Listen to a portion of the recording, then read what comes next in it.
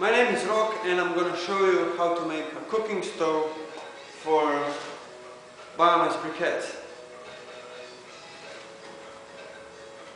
Uh, the cooking stove is made according to Larry Winiarski's rocket stove model uh, and it's made out of a mixture of three materials. Uh, for this stove we're going to use uh, six parts of sawdust one part of water and two parts of clay. We're going to mix it well and we're going to pile it around plastic pipes that are used for making of biomass briquettes. So first we take the pile of clay and make holes in it separate the sawdust on top. We mix in the sawdust and water gradually while we keep mixing clay.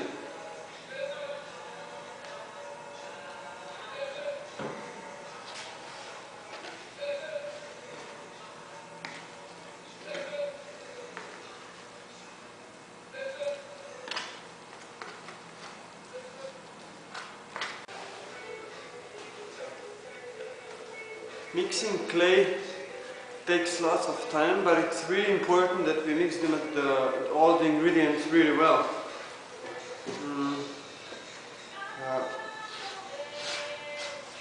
the quantities of different materials uh, depends on the qualities of clay.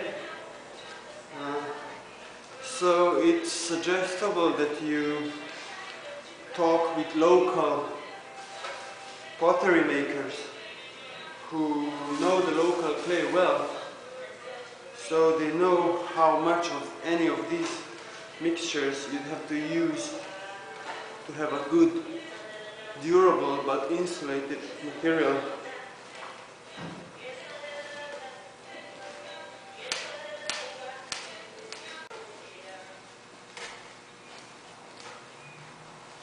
So once the clay starts to form a ball,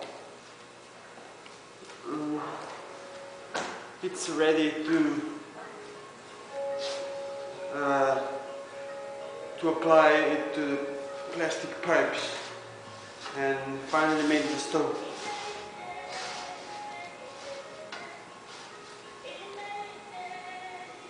We've mixed this clay before so you actually need like four times the quantity that we've used before for mixing.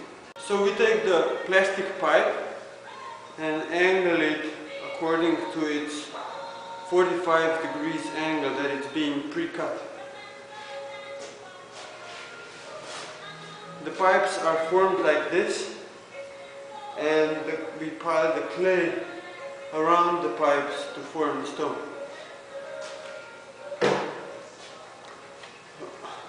We can start with a longer pipe and start to put the clay and form the clay a bit. Make it easier.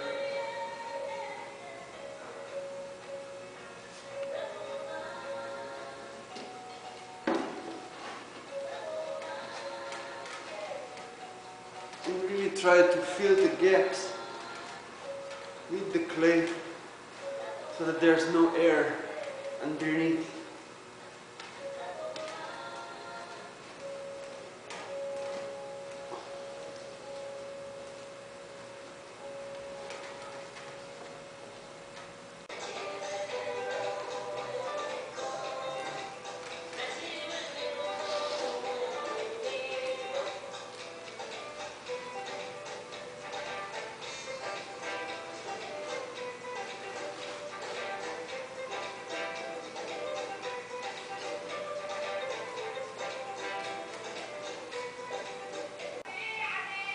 The same way as we did the first pipe, we do with the second pipe, we just that this one is shorter.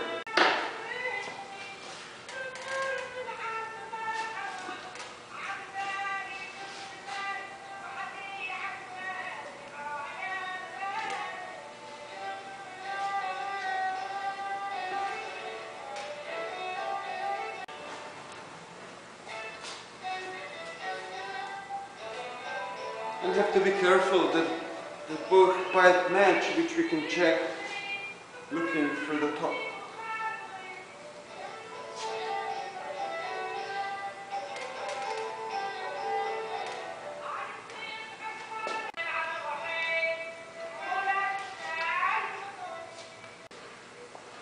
Uh, to make the stove more stable, you can just some clay on the bottom.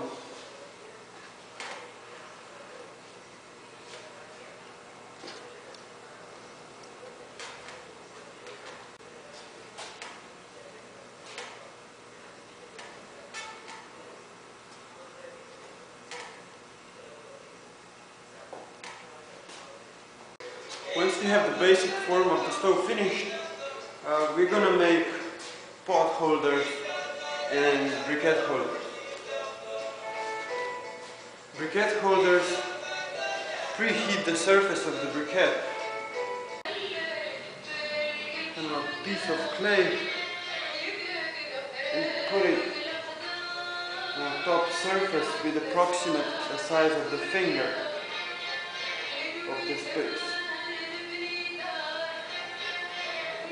This will make sure that the gas is coming out of the pot, fall out of the stove, follow the pot and go out of the stove, touching as much pot as possible. You have to make three of these. So when you're finished with all the details, uh, we can pull the pipes out. First we can do it with the top one.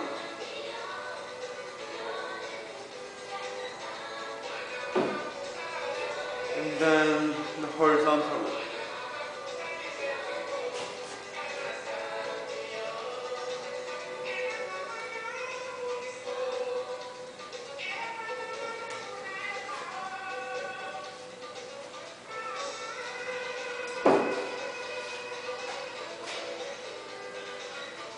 And straighten the edges. We've added more briquette holders here so we can use we can use them as briquette dryers once we are cooking for several hours and just dry briquettes maybe for the next day or so. Clay needs a week or two to get dry and when it's dry we put it in a kiln and fire it up on minimum 800 degrees Celsius. We can also use the door in, in front of the stove to manipulate the volume of the fire much better.